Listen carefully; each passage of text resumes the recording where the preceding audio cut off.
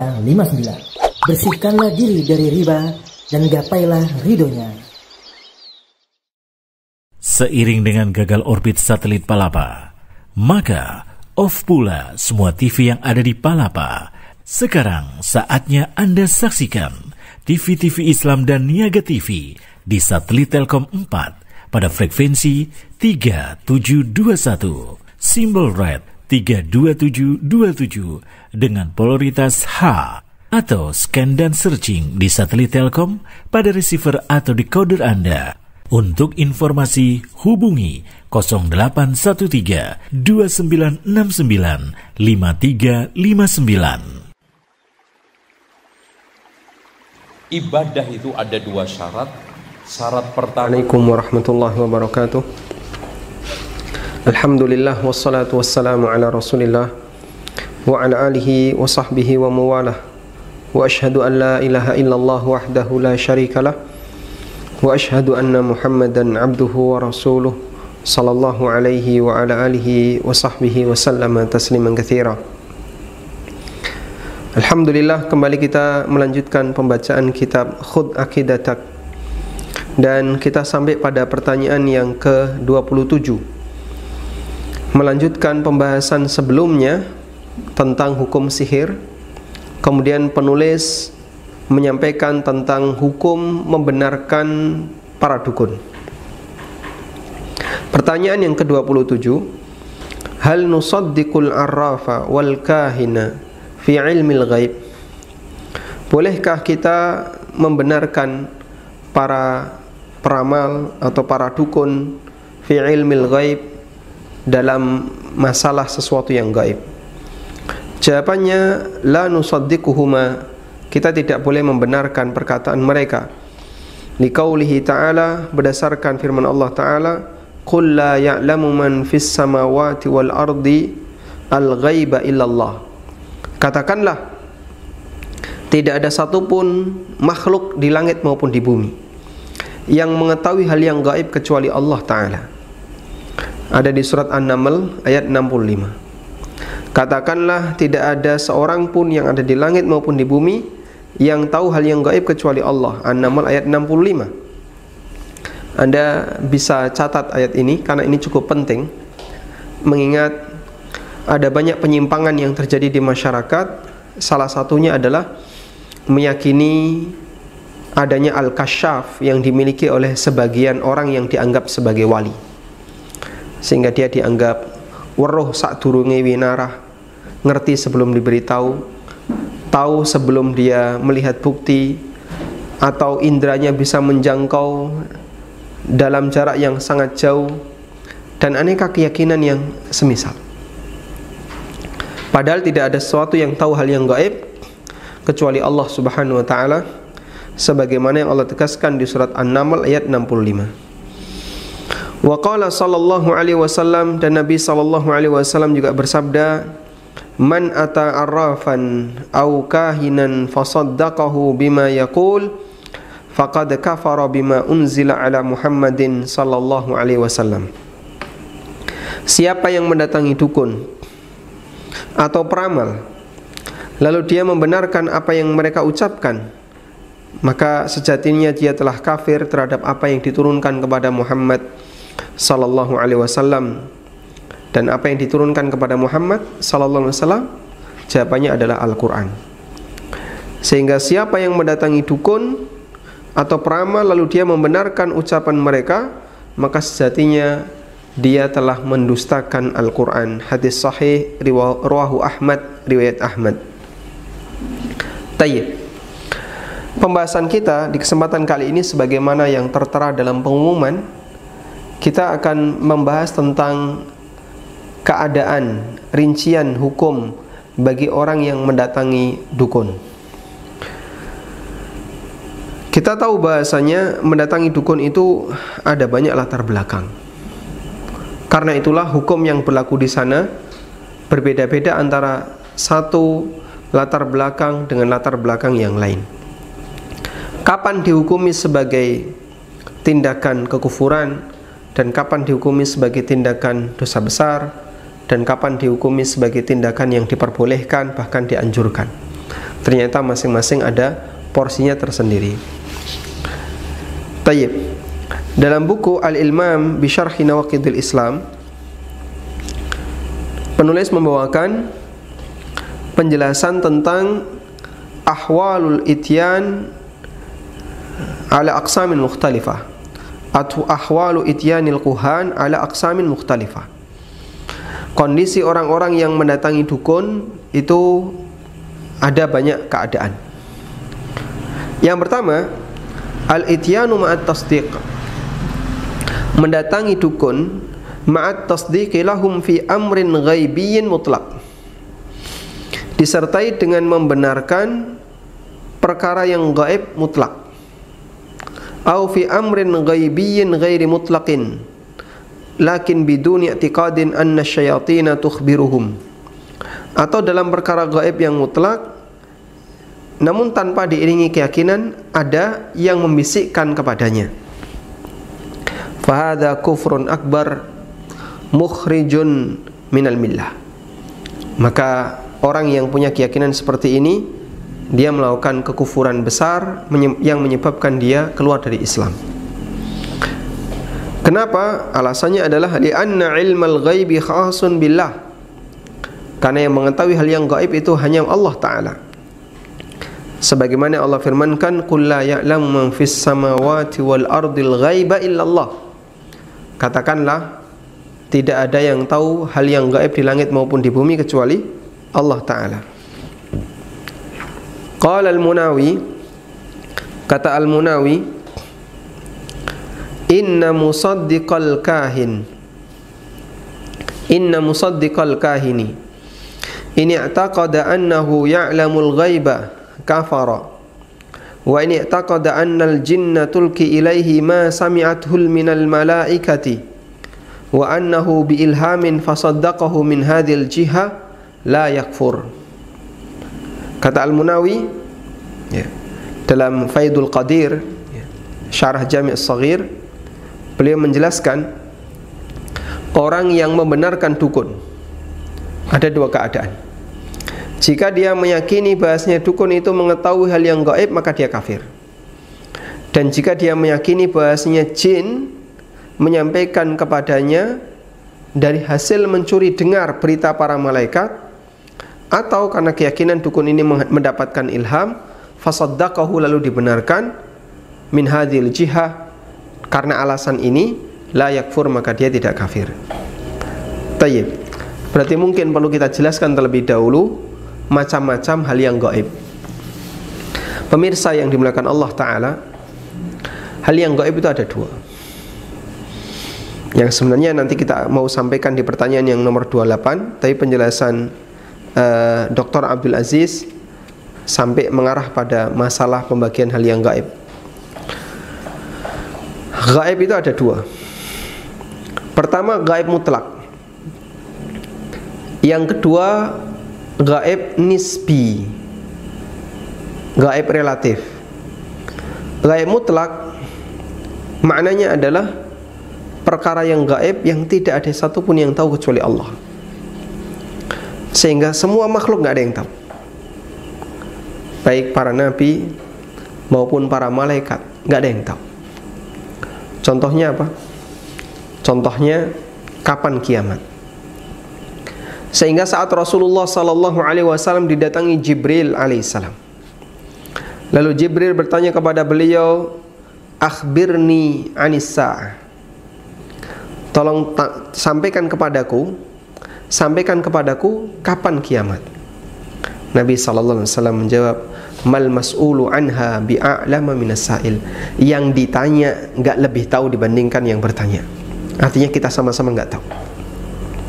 Manusia terbaik malaikat terbaik dua-duanya nggak tahu kapan kiamat. Menunjukkan bahasanya bagian ini adalah rahasia terbesar Allah. Nggak ada satupun makhluk yang tahu kayak gitu kok berani ada sebagian orang yang mengaku ustadz lalu dia ngitung umur umat Islam. Nanti sekian ribu tahun setelah itu terjadi kiamat. Nah suci Allah dari ucapan orang seperti ini. Dan sekarang nampaknya sudah mulai tidak nampak lagi. Mengingat ramalannya ketika bulan Ramadan akan ada dentuman besar gagal yang membuat kecewa banyak pengikutnya. Tayyib, kita kembali ke sini. Yang kedua adalah gaib nisbi, gaib relatif. Apa itu gaib relatif? Gaib bagi sebagian makhluk tapi tidak gaib bagi sebagian yang lain. Contohnya, contoh yang sederhana. Saat ini saya berada di studio. Anda berada di rumah. Saya nggak tahu Anda ngapain. Apakah Anda dengerin kajian ini sambil tiduran, sambil makan, sambil beraktivitas A, beraktivitas B? Saya nggak tahu. Dan Anda juga nggak tahu di depan saya ada apa saja yang jelas ada kamera ya. Di sebelah sudut kanan, sudut kiri di situ ada apa Anda nggak tahu. Maka apa yang sekarang saat ini, apa yang saat ini terjadi pada Anda di rumah gaib bagi saya. Tapi tidak gaib bagi Anda. Dan siapa saja yang ada di depan saya, di sini ada berapa jumlah kursi, ada berapa jumlah meja, Anda nggak tahu, saya tahu. Gaib bagi Anda tidak gaib bagi saya. Itu yang dimaksud dengan gaib relatif. Nah, gaib relatif banyak sekali bagi mereka yang sudah diberitahu oleh Allah Subhanahu wa taala hal-hal yang gaib seperti para nabi. Maka ketika Nabi sallallahu alaihi wasallam sudah mengetahui itu tidak gaib bagi beliau, tapi gaib bagi yang lain. Beliau pernah melihat neraka Beliau pernah melihat surga bahkan memasukinya. Sehingga surga dan neraka tidak gaib bagi Nabi sallallahu alaihi wasallam tapi gaib bagi kita. Dan beliau hanya ceritakan. Tapi beliau tidak bawa gambarnya. Beliau tidak tunjukkan videonya. Sehingga manusia bagi mereka yang mukmin dia akan berusaha untuk mengimaninya secara maksimal. Dia yakin ini benar Makanya seorang mukmin adalah orang yang punya sikap taslim, pasrah. Sehingga apa pun yang Allah sampaikan, apa pun yang disampaikan oleh Nabi sallallahu alaihi wasallam dia percaya.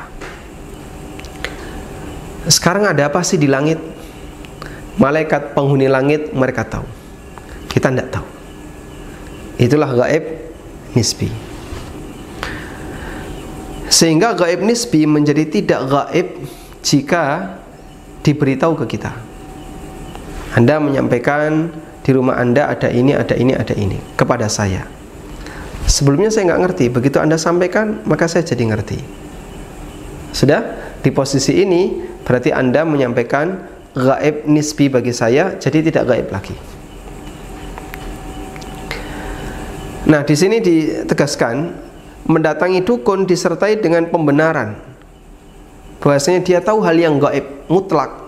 Dukun ini tahu loh ya kapan dajjal muncul.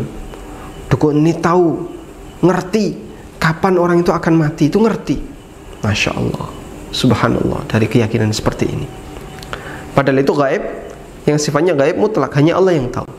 Maka siapa yang meyakini dukun ini ngerti hal-hal gaib yang sifatnya mutlak orang itu jadi kafir. Nah sekarang ada kasus. Barang hilang. Atau nyari uh, titik rizki.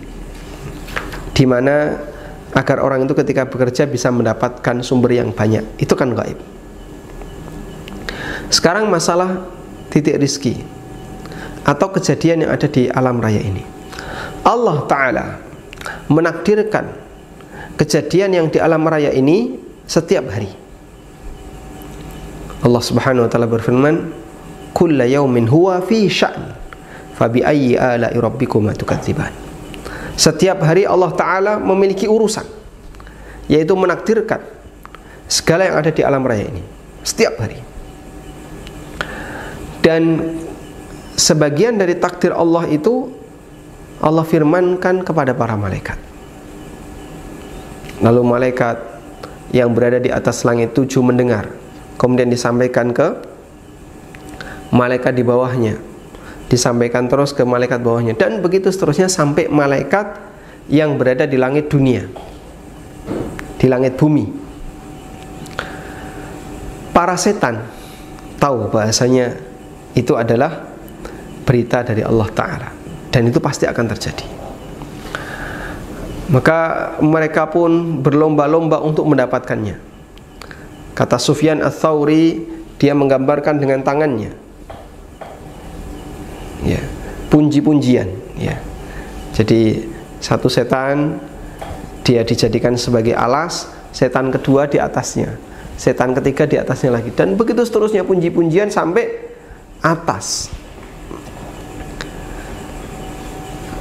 Ketika mereka ketahuan dilempar dengan bintang. Makanya salah satu di antara fungsi bintang adalah waja'alnaha rujuman lisyayatin. Bintang itu aku jadikan sebagai alat pelempar untuk setan. Ada yang kena terbakar. Ada yang berhasil menyampaikan berita itu kepada setan bawah-bawahnya sampai setan yang paling bawah dan ada yang kena terbakar. Tapi berita itu sudah berhasil dibawa. Lalu disampaikan kepada sang dukun. Tayyib. Sehingga setan inilah yang membisikkan kepada dukun kejadian takdir yang Allah tetapkan tapi belum ada di alam raya ini. Nah terus dari dari situ dia ngomong satu kebenaran dibungkus dengan 99 kedustaan sehingga dari yang 100 itu yang benar satu, yang 99 dusta. Tapi orang awam, masyarakat yang percaya sama dukun, dia itu selalu mengingat satu yang benar, melupakan 99 yang dusta tadi. Ya. Iya, iya, kok cocok ya? Kok bener? Oh itu ramalan uh, Simbah ini kok bener, kok bener. Benar jatuh. 99 dusta. Tapi yang diingat oleh orang cuma yang satu ini. Yang 99 dusta itu dilupakan. Dan itulah penilaian masyarakat terhadap dukun. Sangat jauh berbeda dengan penilaian masyarakat terhadap ustadz atau ulama. Seorang ustadz seorang ulama mereka bukan maksum Mungkin nggak ngomong salah? Sangat mungkin. Saya bisa nggak ngomong salah? Sangat bisa. Punya peluang besar ngomong salah. Tapi ketika Ustadz ngasih penjelasan, sampai sekian buku dia kasih penjelasan, dia sampaikan pengajian, sekian puluh kali dia menyampaikan pengajian, bahkan ratusan. Dan dia sampaikan berdasarkan dalil, begitu ustadz ini salah satu ya salah satu saja dari pendapatnya pernyataannya. Itu masya Allah. Yang 99 kebenaran dilupakan satu yang salah diingat-ingat. Ya. tilka idang kismatun diza ini adalah cara yang nggak adil. Giliran dukun kalau salah 99 satu yang benar yang diingat satu ini yang benar Begitu Ustadz dia menyampaikan banyak sekali dalil, walhamdulillah benar. Salah satu saja, masya Allah diangkat, ya. diingat-ingat. Kebenaran yang sekian banyak dilupakan. Dan itulah ketidakadilan di masyarakat. Nah, makanya kata Imam Ahmad seorang ulama yang betul-betul ulama menyampaikan uh, pencerahan di tengah umat, di tengah masyarakat. Mereka ini memberikan pengaruh baik kepada masyarakat, tapi sebaliknya masyarakat memberikan pengaruh buruk kepadanya. Jasa mereka besar kepada masyarakat, tapi balasan masyarakat kepada mereka tidak berimbang, bahkan kebalikannya. Tayyib. Nah, contoh yang lain adalah barang hilang ya. Barang hilang itu berarti dia ada di sebuah tempat yang tersembunyi. Pemiliknya nggak ngerti. Orang-orang yang mencarinya nggak tahu. Yang tahu siapa malingnya, ya. atau siapa pun di antara makhluk halus, jin dan semacamnya yang melihat kejadian ini. Ya, dan mungkin dia ingin ikuti. Oh, disimpan di sini. Lalu ada orang datang tanya kepada seorang dukun. Tayyib. Kata Al-Munawi, kalau dia benarkan dukun ini dengan keyakinan bahwasanya dukun ini tahu hal yang gaib, kafir. Tapi kalau dia benarkan dukun ini dengan keyakinan bahwasanya ada jin yang memberitahu kepada dukun ini di mana barang hilang itu berada, ya. Fasaddaqahu min hadil jihad lalu dia benarkan dengan cara dengan alasan kayak gini, layak fur maka dia enggak kafir. Makanya tidak semua tanya kepada dukun berstatus kafir berstatus kafir itu jika meyakini bahasanya dukun itu tahu hal yang gaib mutlak maupun gaib nisbi, gaib relatif tanpa tapi dia tidak punya informan, tidak punya hubungan dengan uh, yang menjadi gaib baginya. Tayyib. Kemudian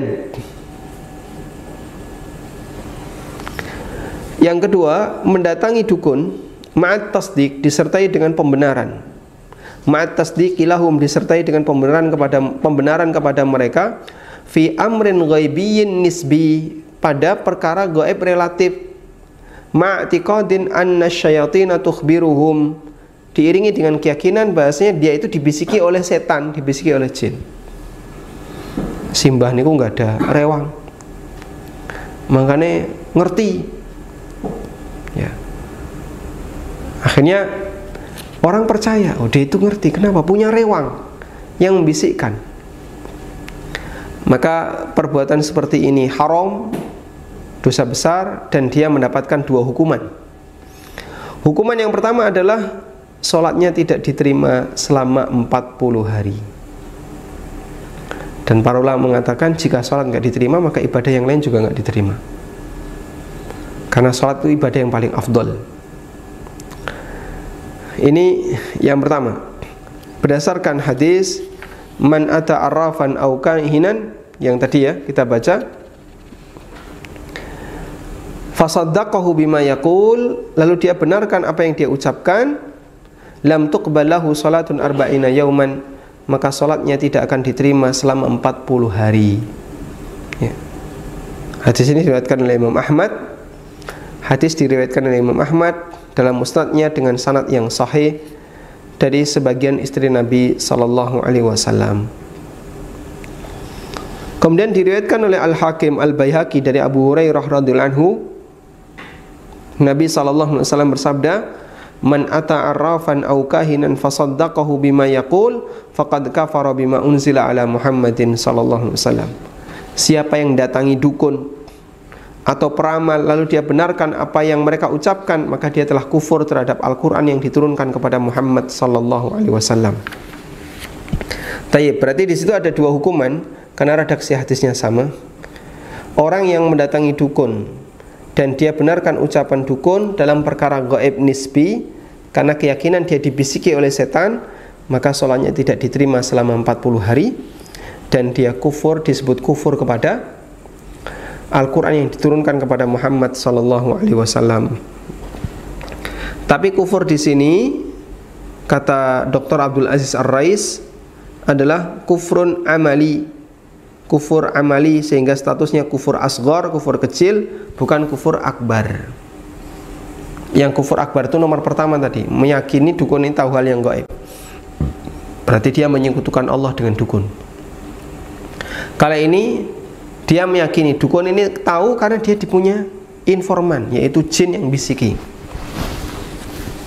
Maka ini tidak sampai kafir tapi dia dikasih hukuman sholatnya tidak diterima selama 40 hari dan ya uh, dia telah melakukan kafir asgor dia dianggap telah melakukan kafir asgor kafir kecil. Yang ketiga Al-ityanul mujarradu biduni tasdikin Sebatas datang ke dukun Tapi tidak ada unsur pembenaran Ya mungkin hanya untuk main-main. Saya kok kayaknya Mau coba-coba baca zodiak Untuk koran lima hari yang lalu. Ya. atau koran tiga hari yang lalu atau, atau koran kemarin. Saya mau cocokkan. Seperti ini dilarang. Berdasarkan hadis riwayat Muslim dari Muawiyah bin Hakam As-Sulami beliau mengatakan Ya Rasulullah wa inna minna rijalan ya'tunal kuhan Ya Rasulullah di antara kami ada orang yang mereka mendatangi dukun Qala sallallahu alaihi wasallam kemudian Nabi sallallahu alaihi wasallam bersabda, "Fala ta'tihim." Kalau begitu tidak boleh lagi mendatanginya. Hadisnya riwayat Muslim. Sehingga sebatas datang hanya untuk ingin tahu, penasaran, main-main, hukumnya dilarang dan dalam hadis riwayat Muslim Nabi sallallahu alaihi wasallam melarangnya. Yang keempat, mendatangi dukun tujuannya untuk ngetes membuktikan bahasanya dia ini pendusta. Hukumnya boleh bahkan bagian dari uh, bagian dari dakwah. Sebagaimana disebutkan dalam hadis riwayat Bukhari Muslim dari Ibnu Umar radhiyallahu anhu bahwasanya Nabi sallallahu alaihi wasallam pernah bertanya kepada Ibnu Sayyad. Ibnu Sayyad itu uh, dianggap calon dajjal di masa Rasulullah SAW meskipun beliau sendiri enggak tidak yakin kalau itu dajjal tapi dia dianggap uh, calonnya Dajjal dan dulu punya kehebatan. Sehingga dia seperti orang yang uh, apa? sakti, punya kehebatan, maka dianggap sebagai dukun yang sakti.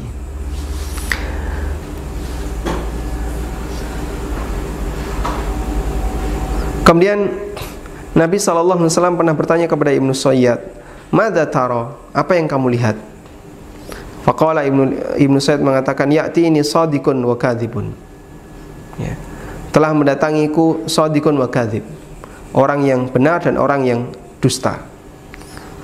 Wali Muslim dalam riwayat Muslim Nabi sallallahu alaihi wasallam dari Abu Sa'id Al-Khudri radhiyallahu anhu beliau bertanya Nabi sallallahu alaihi wasallam bertanya, "Ma tara apa yang kamu lihat?" Qala ara arsyan alal ma'i. Ya. Saya melihat ada arsh di atas air. Dan juga diriwayatkan oleh Bukhari Muslim dari Ibnu Umar dan dari Ibnu Mas'ud, beliau mengatakan fa inni qad khabbatu laka khabi'an. Nabi SAW mendatangi Ibnu Sayyad lalu dites.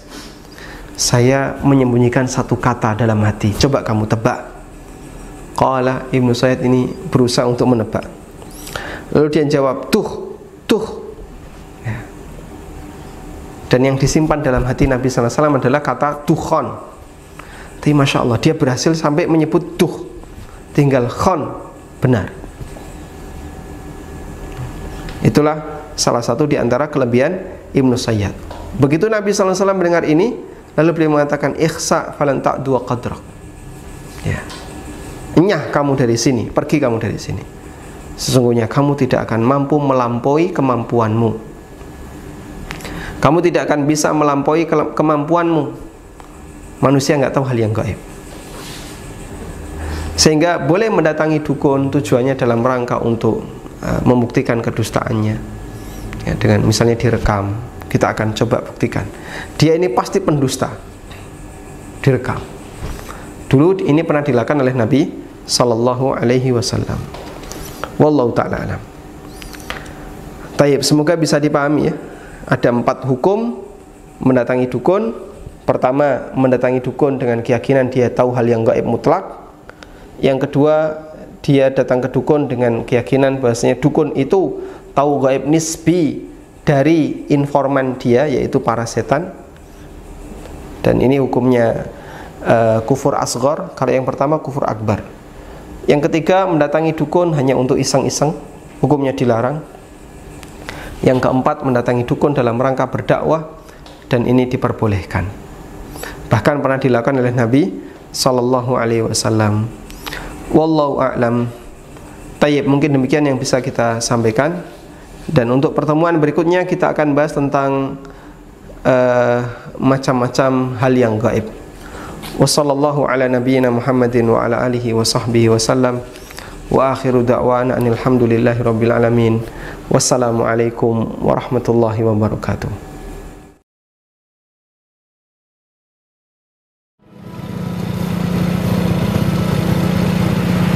Namaku Andri. umur 23 tahun. Kegiatan sehari-hari ya kayak gini. Bagiku semua orang di sekitar adalah inspirasi. Bertemu para sahabat dan berbagi banyak cerita. Ya, pernah sih melamar pekerjaan, tapi nggak ada hasilnya. Hingga akhirnya Silakan mas. Ya. mas. Sebagai generasi milenial, aku selalu ingin mencoba sesuatu yang baru. Positive thinking, terus berusaha menjadi yang terbaik, karena kita, generasi milenial, bisa jadi pengusaha.